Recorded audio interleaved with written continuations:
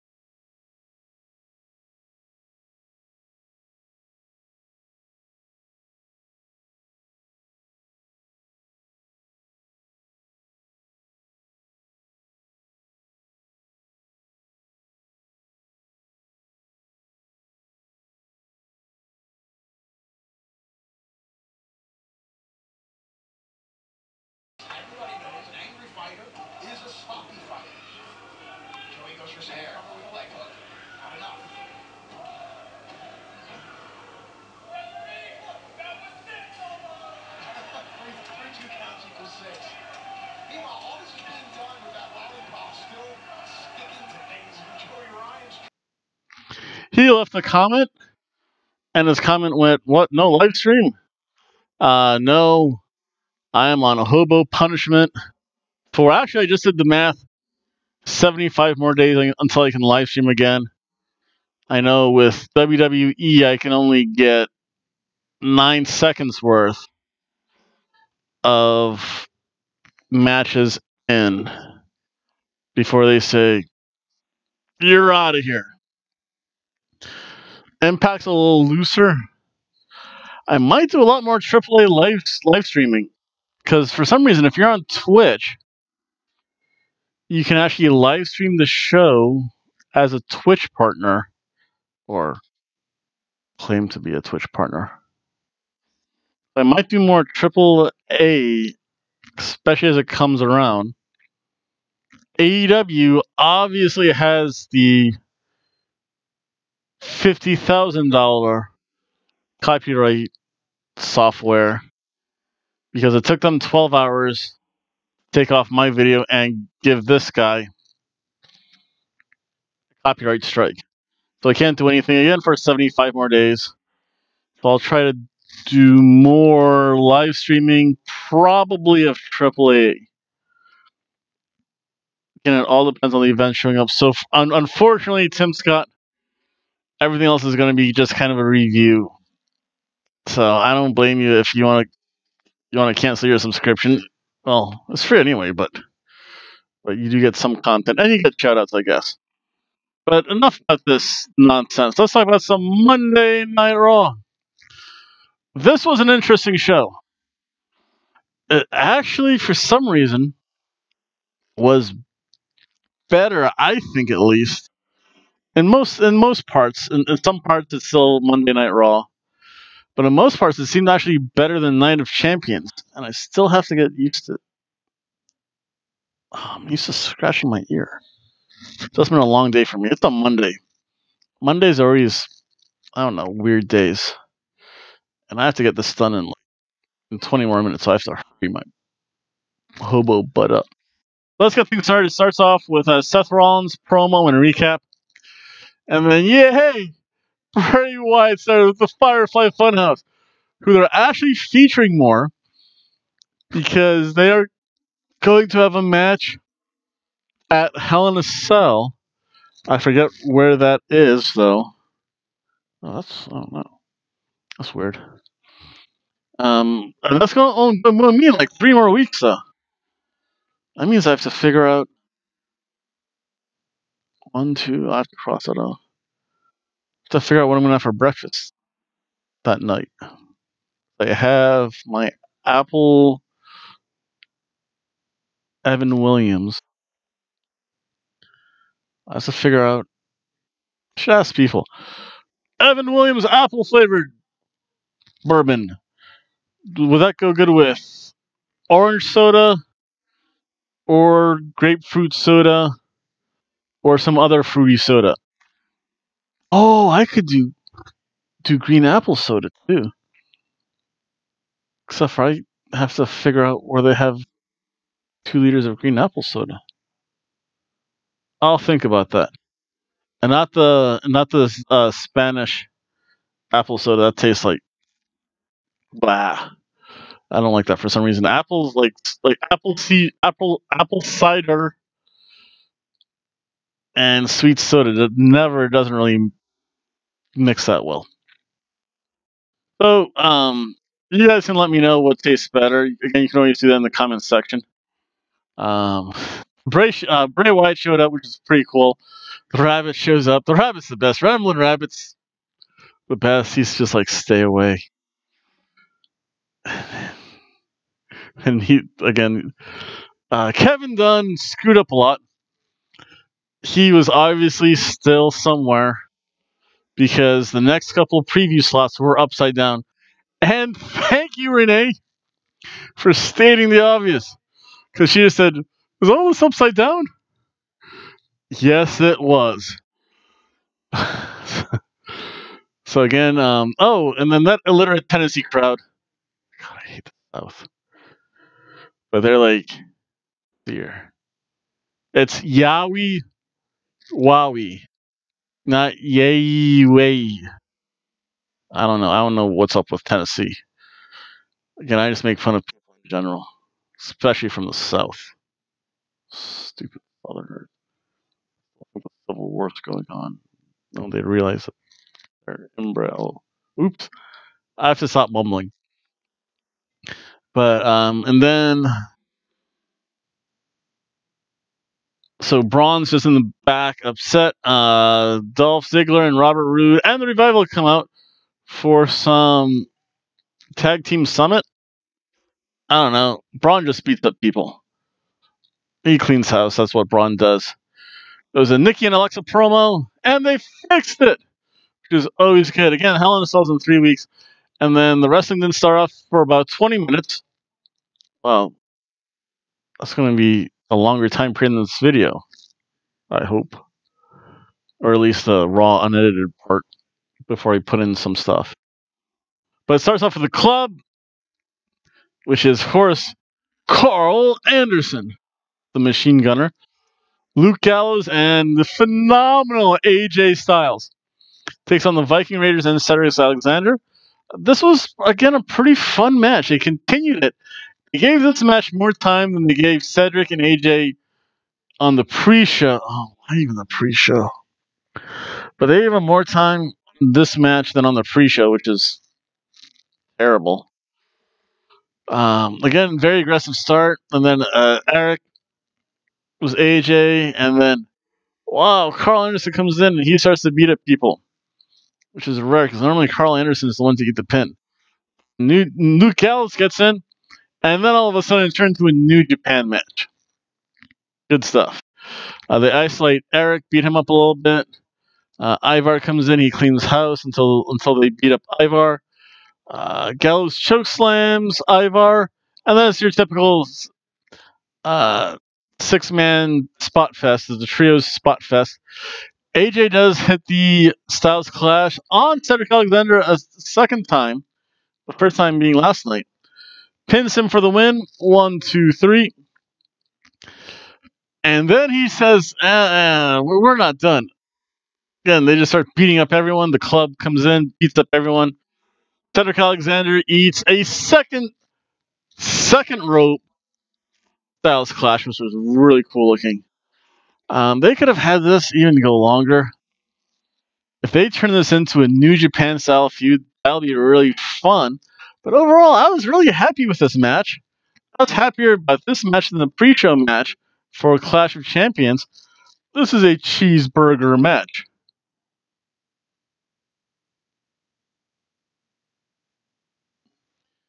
Then there's a 24-7 segment with R-Truth and Pain! Or actually Mayor Glenn Jacobs. Here. I put. Oh, then there was a funny No Way Jose Kit Kat commercial. That was pretty cool. He had to tell the, the Congolene to Tranquilo and take a break because give it a break. Break me off a piece of that Kit Kat bar. So that was kind of fun, though. It's different. It's always nice. I still think the, the best commercial is Rusev and Lana. Oh, we'll see Rusev later. Rusev and Lana in Dollar Tree. Because that just seems so natural for Rusev. That's cool. In fact, I have to go to Dollar Tree tomorrow. I have to get some stuff. Uh, then we had Baron Corbin versus Chad Gable in a King of the Ring match, which I guess for timing issues they put on today instead of last night. I understand the timing of it. They could have put this on the pre-show, taken a couple minutes off of everything else, bumped up AJ Styles, Cedric Alexander to the main show, but obviously I'm not in charge of WWE. it was Baron Corbin versus Chad Deal. Um, this is the strength of Corbin versus the te- the te- technique of Chad Gable. It started off a really technical match. I'll tell you what, any technical match where I see collegiate wrestling, that's always fun. Uh, again, it's amazing stuff. Gable is being a freestyle wrestler and collegiate wrestler. I always like that. Uh, Corbin, he's just beating up Gable, though. He just tosses him around. And then he threw him through slash on top the, the, the comfy announce chair, the high backed padded leather chair that looks comfy, which I have to get one day when I can afford it. We'll see. And get rid of squeaky chair or keep squeaky chair, but stuff in the closet somewhere. I do like my bungee cord chair. Whichever chair dies first on me. I think I had one bungee cord chair for gee, ten years until the pneumatics finally gave out. So I had to get a new chair, and I got a squeaky chair, which was still the right price. It's actually fairly comfortable too. With this, um, again, that was fun. Corbin just uses a clubbing blows. Again, he's the brute in this match. He's the brutish heel in this match. It makes sense. Uh, there's, I think that then, someone shot. There, you have no chance in hell. That's what they should have said, and do do some gimmick infringement there. Uh, Gable again, off the top rope with a missile dropkick, amazing stuff. Corbin has that ability to toss Gable around though like anything. Uh, the roll through German suplex, that's a great spot. He had the ankle lock in for a while. Eventually, Corbin gets to the ropes. He's long enough. And then again, it's kind of end of end of days onto Chad Gable off the ropes after swinging around a lot, which is pretty cool. And we now have King Corbin. Long live King Corbin. Long live King Corbin. And actually, a surf and turf match.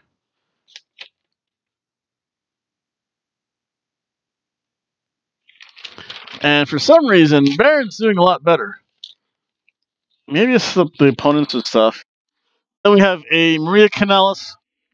God, this is so so 90s WWE. Uh, but we had Maria Kanellis baby reveal, and instead of having a baby the reveal, it was a father reveal. And Ricochet, you are the father, which is always rare to see. And then, what was it? In Discord, we were talking about having a baby on a forklift match. a Maria Kanellis on a pole match. Wait a second, that's how this happened.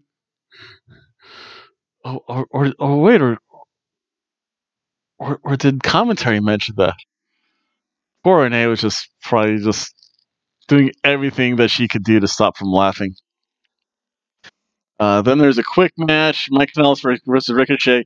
Fight me! At least someone other than Aleister Black saying "fight me," which is good. Uh, it wasn't much of a match. I think it took less than five minutes. Uh, Mike Kanellis started a brawl with Ricochet. Once it went to a technical match, Ricochet hit a flying lariat onto Mike Kanellis. It was a pin, one, two, three. And really it was a can of soup match. It, it was it. Uh, Renee made some funny comments. Again, she's just like, why me? A can of soup match.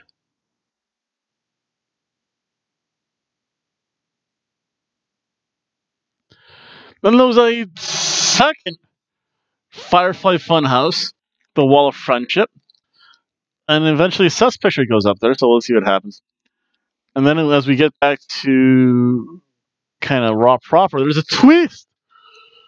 Maria starts to degrade poor Mike again. This is who the real father is. Rusev Machka. Rusev Crush. Because it's Rusev All over again. And this is a handsome Rusev because he got a haircut. He has like the stylized mustache. He lost a lot of weight. He looks slimmer, trimmer. Good job, Rusev. Even better job, Lana. Um, so Rusev's the father. Uh, Rusev just beats up Mike Kanellis. Mike's like, "No, I don't, I don't want. I don't want to fight. Is the baby's all yours?" And Rusev just kind of breaks Mike Kanellis. No other way to put it. We had another really can- that became a match, and it was a real can of soup.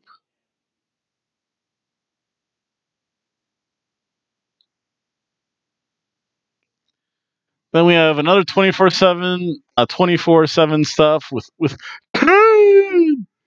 And Kane becomes the next 24 7 champion after he pins him on the. I forget if it's. If Knoxville is Vanderbilt or the University of Tennessee. I forget it was Nashville. I just know it's Tennessee.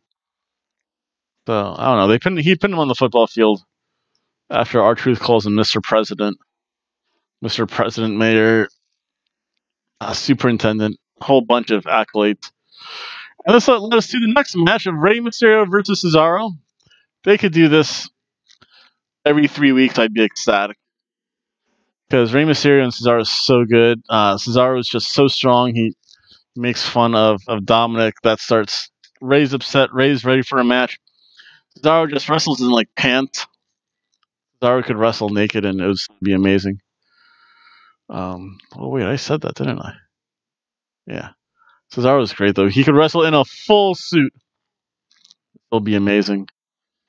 not even a tearaway suit because Cesaro's so strong. Rey's Rey's classic Rey. I mean, he seems to get the ring. He seems to have gotten the ring rust off because he's a little bit faster, a little bit more agile than he was a couple weeks ago. So that's always good to see.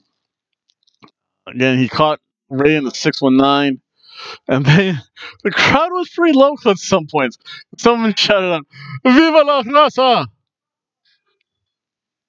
Well, that means like live the race or something. I think. Yeah, that's what. Well, I know Puerto Ricans chant that often, but yeah, it's something to do with Latin stuff. Let's see some more notes. And they the Rey hit the crucifix driver, which is always cool. And for this, I mean, he he just caught him. Cesaro caught him, and even when caught, Rey can still twirl all over the place. They hit. Uh, oh, I'll tell you what, Cesaro nailed the Gorilla Press GTS. That should have finished the match period, but it didn't. Uh, Rey hit the Lucha Destroyer for the win. And again, that was a, I'll tell you what, this was a really good match. This is a surf and turf match.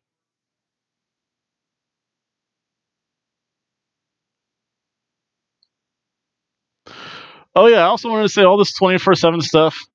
Um, well, there's actually more Firefly Funhouse stuff. Suspects is going up. And there's a little author of pain promo. Um, I'll say this right now. I'll I'll uh, clump it together because obviously, if Kane's going to win the belt because he's married Glenn Jacobs and actually has a real job, um, he loses a belt. All of these 24 7 stuff. This was good. It was, it was different. I'll say it's a ham sandwich.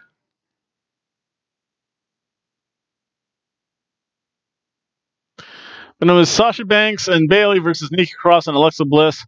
Um, starts off, Sasha just beats up Alexa. Poor Alexa. I'll tell you what, Alexa can just slap the taste out of one's mouth. Uh, again, Alexa hit her classic double knees, and she also hit a Lucha Destroyer, which is what I love. Uh, Lucha Destroyer is almost like a Canadian Destroyer, except for being a pile driver, it's more like a a power bomb, where the person lands kind of on their back, of the top of the shoulders, versus the head. So again, the fact that Bayley allowed her to hit hit the Lucha Destroyer was amazing. Bayley is actually really good. In this, Sasha Banks didn't do a lot. It's either that or she just didn't seem as botchy. Maybe being in a tag team kind of hides her weaknesses. I don't know.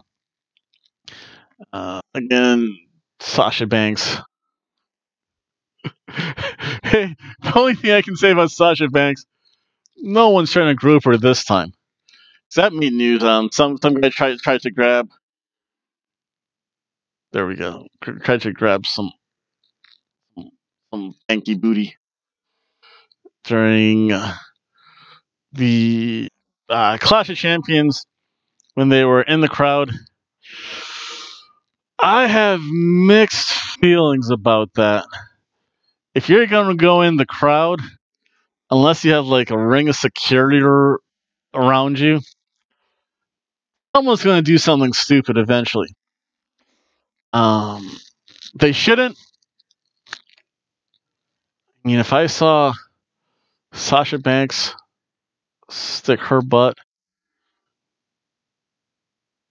even near my face, um, I'll be honest, I would grab it too, probably. But again, that's because she's in the crowd part. I'm not in the ring part. Once he go into the crowd, it kind of get, at least I think, it gets kind of shaky territory. Know a lot of wrestlers don't mind being slapped on the shoulders. Um, of course, there's always a high five.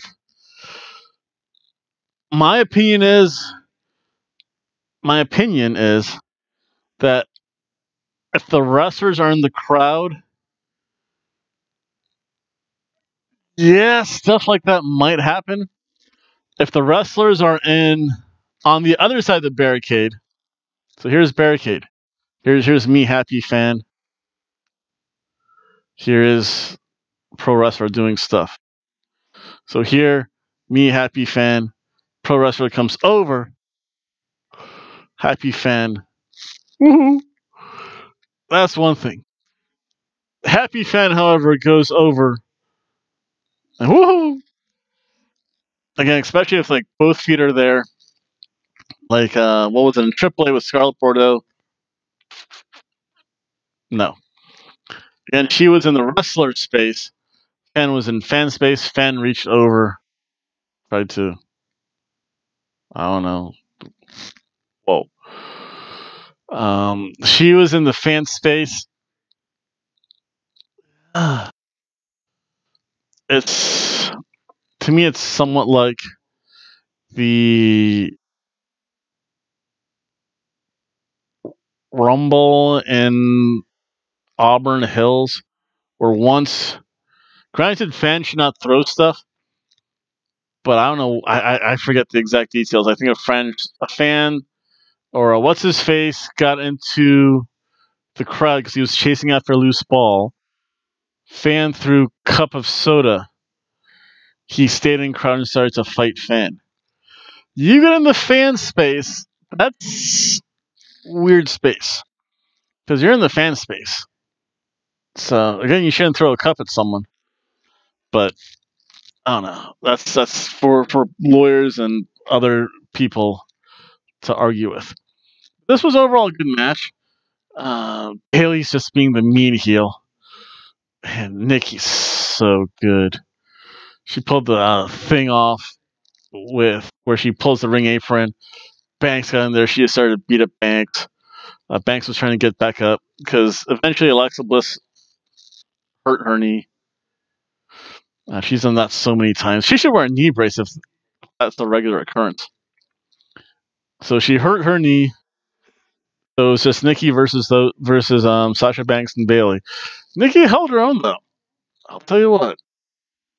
She almost again the only botchy moment with that is Sasha almost knocked herself out because she sold the one hit, like hit her head, like you could see square, almost square against the metal part of the ring, not where the padding is, but where the metal part is. So that I don't know. Just waiting. She's gonna knock herself out one day. Uh, Sasha does hit the bank statement. N- Nikki taps out. Nikki was getting beat up. Nikki did a really good job though of holding her own though. So this match, even though Sasha Banks and Bayley won, it was still a really fun, entertaining match. This was a surf and turf match.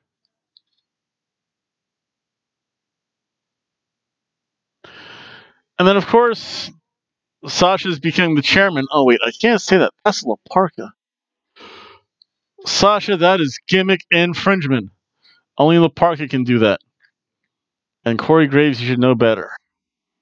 I forget if they called her the chairwoman or something. Let's see, what was that? She was handed. Oh, yeah. now that Bayley's heel, my question is can Bayley now handle a kendo stick? Because she can obviously handle a chair. Well, actually, she doesn't really handle chairs. She saves that for Sasha. She just gives her the chair. Ooh. Then um, once Sasha brings in the chair, cue Bayley's cue Becky's music. They have dueling chairs for a while. Bayley has Bayley comes in the ring with a chair. Um, cue Charlotte's music because it's like a Mexican standoff in the ring. Cue Charlotte's music. Charlotte, I don't know how she did this, but she did take a stutter step, kick Bayley right in the head when she was wearing heels. I have no idea how she did that. And then she picked up said chair. Sasha and Bayley eventually retreat. It was fun. Uh, Sasha Banks is angry. She's cursing again. And she does the New Japan thing of challenging. How dare she challenge Becky Lynch to a Hell in a Cell match? Uh, I already talked about the 24 7 stuff that was all a can of soup.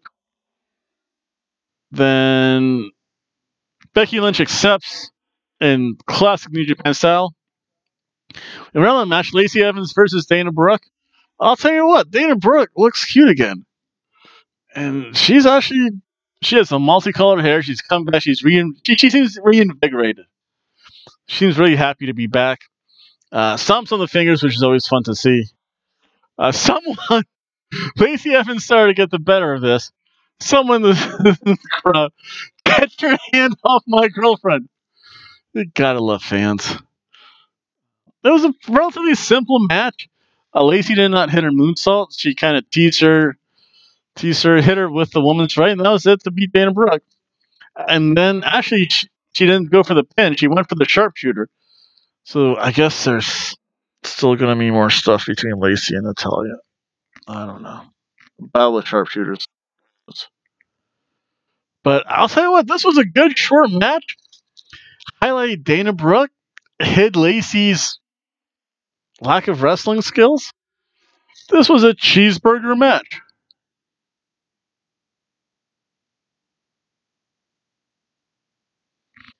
Then the main event uh, Seth Rollins versus Robert Roode. Oh, what was the crowd? I don't know. The crowd was chanting something. The, the crowd was getting better as, as the show went on. Uh, Seth comes out. Uh, Seth controls the match for most of it. Uh, Robert Roode does have that great looking backbreaker. Uh, Dolph again pokes his head in where it shouldn't be. He yes, he Dolph gets his cheap shots in like he should as heel. Classic Seth offense. Hit the stomp. Uh, Ziggler comes in to break it up, and then AJ and the club come in. They just want to up Seth. Hey, it's time to beat up Seth Rollins. And so, of course, it was DQ'd, but it was a fun match. It was a death finish. It was a death ham sandwich.